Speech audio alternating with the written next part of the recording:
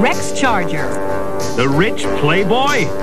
He might have been born wealthy, but he earned his reputation as the country's leading alternative energy scientist.